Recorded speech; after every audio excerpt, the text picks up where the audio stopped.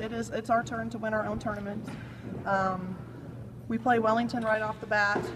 Um, so we would see Clearwater's actually in the bracket underneath us.